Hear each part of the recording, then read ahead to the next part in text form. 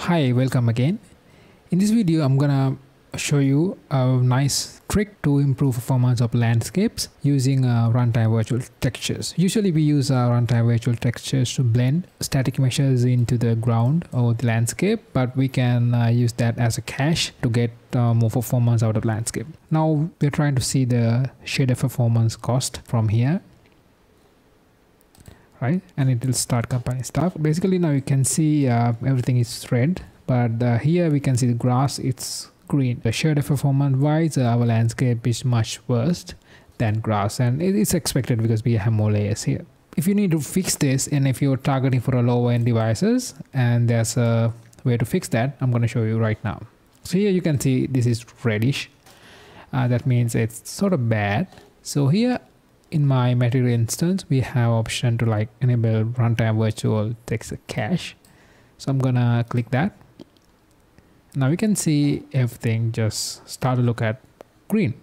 So basically now uh, it sh should work fine right? So using just clicking this one we get a performance boost like this. So then uh, let's go to the normal lit mode and see what are the changes. If we look at here and there's no much difference right? So it looks like the same old uh, landscape. So let me turn it off again. Right? So since now we have foliage and it's quite hard to see the difference between these two. And let me turn off foliage. I'm gonna re remove all the grass. All right and then uh, i'm go closer to a mountain right here now we have uh, RVT enabled cache enabled. Actually I cannot see normal information here.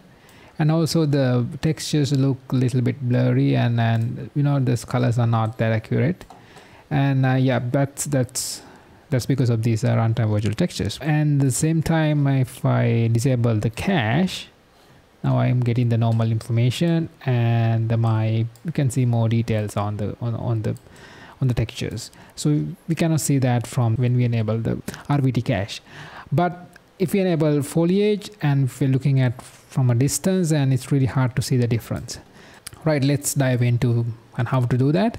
Before we begin i'm to show you some stuff about performance related metrics. Here you can see this there are several numbers. First we have the frames per second and here we have something called frame game draw and gpu and the two uh, interesting numbers are the game and the gpu so in order to calculate a frame a gpu spend around like 10 9 to 10 milliseconds here and the cpu spends around uh, 7 to 8 milliseconds. So in this case my bottleneck is on the gpu so let me actually put the player in. So in a game mode so we can get a accurate result. So if you're looking at some something um, far away so you can see my gpu performance is it's something around like i can still achieve 100 frames a second. It's, it's not that bad. I mean it's pretty good. And then when i enable the rvt cache as you can see now it's it's improved a little bit. I mean it's really hard to see the difference uh, from the uh, from here. And in, in in my case the improvement is quite subtle uh, because i think uh, my gpu is quite okay but if you're targeting a lower end gpus and this or more mobile devices i haven't tested that but this is something you can you can try all right now let's see how to enable rvt cache in OpenLand Inside OpenLand, we already configured uh, RVT support or runtime virtual texture support with caching. It's really easy to enable that. So first of all, go to the edit project settings and then search for virtual texturing. And here we need to enable virtual texturing support. This is disabled by default. You have to enable that. And then you have to restart your project. It will take some time to compile stubs. Just just wait for until that happens now select the landscape from the world outline go to the details section and search for virtual textures and then here we need to enable we need to add our virtual texture to our landscape. So just click this. If you have using OpenLand just select this one and you can see two virtual textures and select the one called uh, OpenLand material. Okay now we have selected the virtual texture. Now we need to add a volume into this place. Now go to uh, place actors and search for virtual. Okay now we got that. Put that actor into the scene go to the details panel. And again search for virtual texture and you will get this window. And from that select the the exact same uh, virtual texture. You can see this from here. And here you can see the transform from bounds. So we need to set that. From here select your landscape.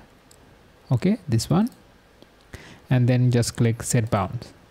Now you can, as you can see it will create a big box bounding box around our landscape. This is what we need and we are good to go. Now go to your landscape and open the material instance. In this case is a OpenLand theme default which you can see here. In here just search for rvt or you can uh, simply scroll down to the performance section. And here uh, we have a checkbox called use rvt cache. Simply click that now you can see we enable the virtual cache support. Uh, scale wise quite different from the the default version. So but actually if you need to change this you, you can play with these not these two numbers and try to get a blend distant blend uh, according to your your feelings. Right this is it and this is how we can enable uh, rvt cache support in uh, openland if you want to do this in your own uh, landscape material you can always uh, get the openland from github and try to see how we are doing that. And it's, it's quite, quite okay to do that. And also i really uh, recommend to watch this video uh, from i think it's, it's from two years ago. Uh, virtual texturing from uh, unreal engine. And it's quite old but the concepts and everything is really valuable and uh, very interesting.